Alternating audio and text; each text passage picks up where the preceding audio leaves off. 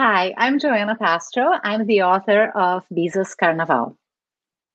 Hi, I'm Carolina, and I'm the illustrator of the amazing Bisa's Carnaval. Bisa's Carnaval follows uh, Clara and her Bisa, her great grandmother, through the streets of Olinda as they gather supplies and prepare for Carnaval by making costumes for Clara and her cousins. When the big day comes, everything's perfect, except Clara realizes something is missing. What could it be? Well, you'll have to find out.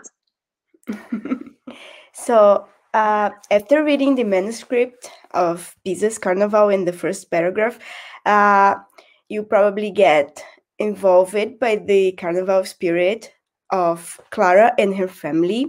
And it was a challenge for me to picture carnival actually. But at the same time, as I was always with my memories. So I hope you enjoyed the book.